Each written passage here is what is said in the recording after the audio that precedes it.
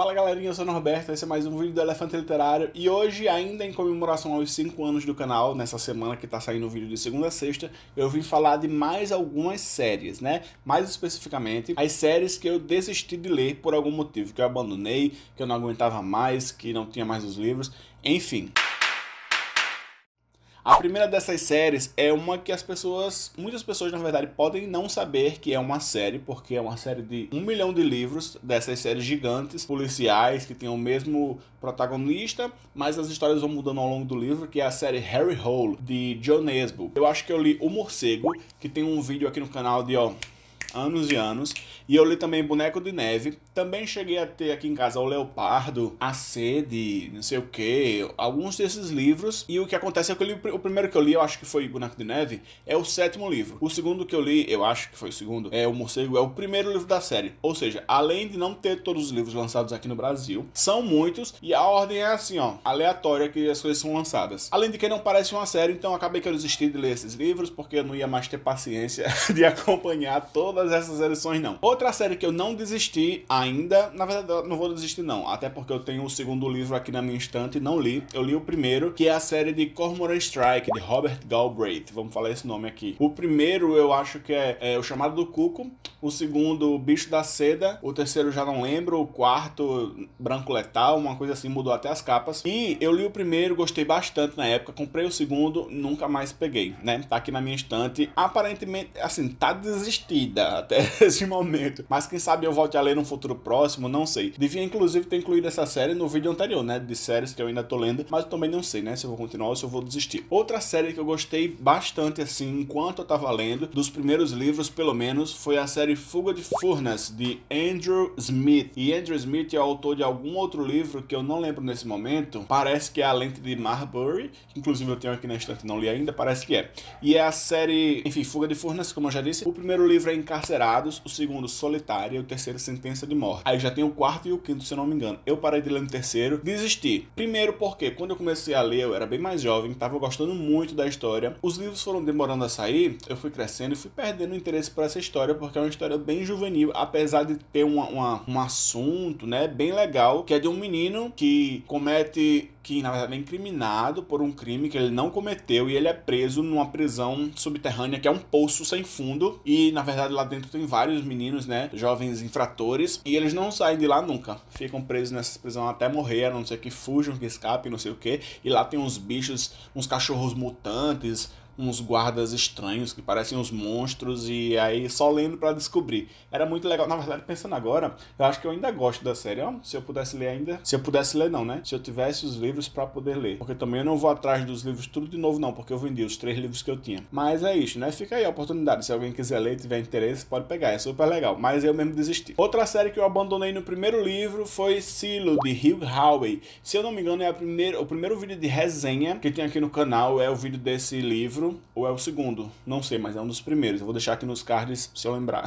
se, eu não, se eu não lembrar, me lembre aqui nos comentários. O segundo livro é Ordem e o terceiro é Legado. Eu não sei como é que funciona a estrutura e também não lembro muito da história. Eu sei que tem uma mulher super poderosa lá, muito top. Na verdade, eu acho que ela é meio renegada e vai ganhando poder ao longo da série, é, ao longo do primeiro livro, na verdade, que foi o que eu li. Nem lembro direito. Mas vocês assistindo ao vídeo lá, eu expliquei bem direitinho. Agora faz muito tempo, viu? Eu não recomendo que reparem bem no vídeo. Sei que eu desisti. Me pareceu que as continuações não eram tão interessantes quanto o primeiro, que o segundo parece que era só um documento grande do, do livro, não era a história, e depois voltava só no terceiro. E, enfim, ficou nessa confusão, acabei que desisti. E vamos para a próxima série, né? Que é a famosa, aclamada mundialmente, que todos amam, na verdade, alguns odeiam, que é a série Instrumentos Mortais, de Cassandra Clare. Esse aqui é o vídeo de eu dizendo oficialmente que desisti de os Instrumentos Mortais. Eu li Cidade dos Ossos, Cidade das Cinzas e Cidade de Vidro. Não li os outros três. Inclusive, eu lembro um pouquinho ainda, teoricamente, teoricamente não, relativamente bem dos das histórias dos três primeiros livros. Não assisti a série, só li os livros mesmo, mas acabei que eu desisti porque eu tava sem paciência de pegar mais um monte de livro, sendo que tava saindo muitas outras séries e eu tava querendo ler essas outras, essas outras, essas outras trilogias da autora, que é As Peças Infernais, não sei o que. Tem uma que eu quero ler, só que eu nunca sei qual é. Mas por enquanto é isso, né? Se você gosta de Instrumentos Mortais, deixa aqui nos comentários pra eu saber se vale a pena pena um dia dar uma nova chance, mas no momento não tá nos meus planos mais próximos assim não. Outra série que eu desisti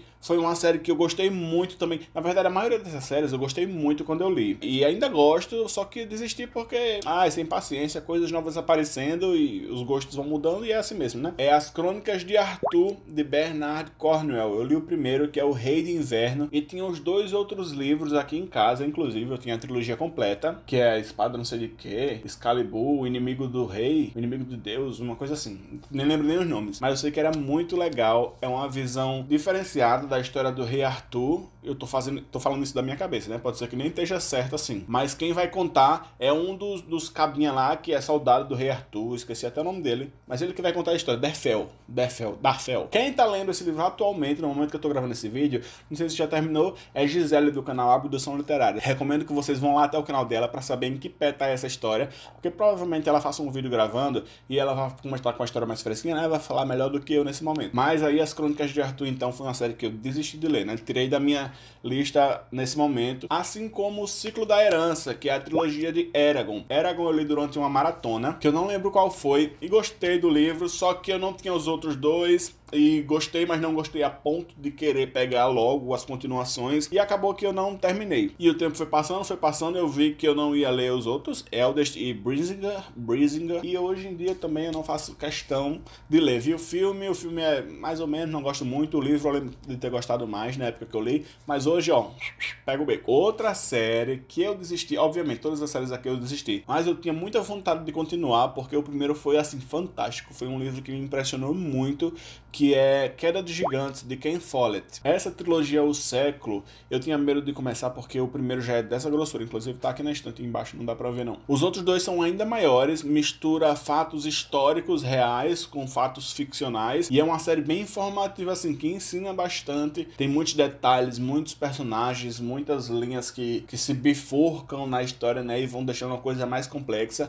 É muito legal, se você tem interesse em ler, leia, mas eu mesmo não vou continuar. Outra que eu não não vejo muita graça hoje em dia é a da Guardiã de Histórias. É uma duologia de Vitória Schwab. A única coisa que eu gostei de Vitória Schwab até hoje, na verdade, eu acho que eu só li esse da Guardiã de Histórias e a duologia Monstros da Violência, que eu gosto bastante. Inclusive, falei no outro vídeo, no vídeo de segunda-feira. Vai lá assistir também depois desse vídeo aqui, tá certo? Daí a Guardiã de Histórias eu li, achei qualquer coisa, achei mais ou menos. A segunda continuação. A segunda continuação não. O segundo livro saiu. Edu, do canal Lucky Fishes, leu recentemente e disse que não gostou eu já não estava querendo ler, minha vontade foi por água abaixo e concretizou, né, a minha desistência dessa duologia aqui, porque os livros são muitos, o tempo não para e a gente não tem tempo para ficar lendo livro que a gente não está interessado e que sabe que as opiniões estão sendo assim meio mais para lá do que para cá. O primeiro contato que eu tive com literatura steampunk foi com a trilogia Leviathan de Scott Westerfeld, que é o mesmo autor da série Feios, que é uma série que eu desisti de ler também lá há muito tempo. Desisti assim. Acabou que eu li a, a, trilogia inicial inteira, né? Que é Feios Perfeitos Especiais. Mas depois saiu outro livro, Extras, que eu nunca considero esses livros que saem depois de muito tempo. Até agora, né? Até o momento, porque eu não me interessei. Mas enfim, trilogia Leviatã. É uma trilogia steampunk que tem esse visual como Hugo Cabret. É uma coisa avançada, só que na época da Revolução Industrial, sendo que a gente tem máquinas.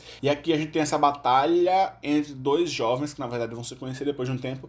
Eles estão em dois veículos diferentes. Um que é uma baleia baleia geneticamente modificada que voa, tipo um. Como é o nome daquele negócio que voa? Zeppelin? É, um aqueles balão que voa, dirigível. E outra, tipo numa máquina mesmo, um tanque de guerra, ou é subterrâneo. Eita, nem lembro mais de nada. Eu sei que o primeiro livro é Leviatã, muito bom. O segundo é Bimote, muito bom também. Quando foi o terceiro, Golias, eu acabei comprando, mas passou muito tempo aqui perdi a vontade de ler com o tempo, né? Fui botando outras coisas na frente, como a gente sempre faz, e acabou que eu desisti dessa história. Não é uma história que eu desisti porque tava ruim, mas mas é porque o tempo foi passando mesmo, os gostos da gente vão mudando, como eu já disse aqui. Aconteceu já com você alguma vez, de você estar tá gostando de uma série, deixa aqui nos comentários para saber. Tá gostando de uma série, só que aí o tempo vai passando e você vai perdendo interesse aos poucos. Mas mesmo assim você não deixa de gostar daquelas coisas que você leu. Assim como tem outros casos, né, que a pessoa deixa de gostar mesmo porque a coisa é ruim e a pessoa deixa pra lá e não pega nunca mais. Como é, para mim, o caso de Crônicas de Amor e Ódio, de Mary E. Pearson. Fui até pegar ali para poder facilitar na hora de eu editar o vídeo.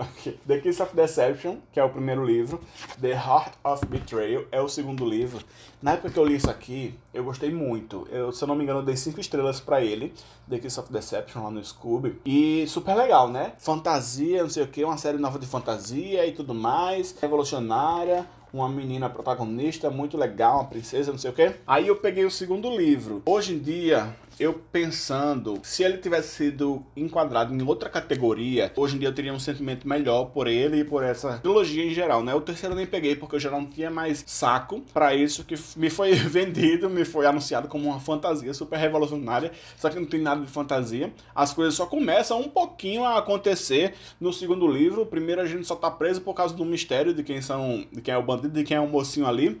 E acontece que não acontece, né? Nem no segundo livro acontece. O terceiro eu nem tive vontade de ler, de pegar, né? Para continuar essa série que perdi a paciência, porém está aqui na minha estante ainda. Não é uma série que eu odeie, mas assim, perdi a paciência mesmo. Não tenho mais saco para continuar numa coisa que vai ficar me enrolando até o fim dos tempos para poder acontecer de fato uma coisa que me instigue assim. Hoje em dia eu acho que até diminuiria a nota que eu dei para esses dois livros. Diga aí. Eu acredito que são essas as séries que eu desisti de ler, que eu já comecei um dia, mas enfim, depois disso nunca mais. Não pretendo pegá-las novamente num futuro breve, nem no futuro distante também. E eu queria saber de vocês aqui no comentário quais séries vocês estavam lendo e desistiram de ler, né? Se vocês ainda não colocaram até agora, que eu passei o vídeo todinho pedindo para colocar um comentário aqui sobre alguma coisa, aí essa é a hora. Deixa aqui seu comentário se eu curti, se ainda não curtiu. Segue o Elefante Literário nas redes sociais e fica ligado em tudo que tá rolando por aqui, que daqui a pouco a gente se encontra de novo em outro vídeo. Tchau, tchau. Valeu!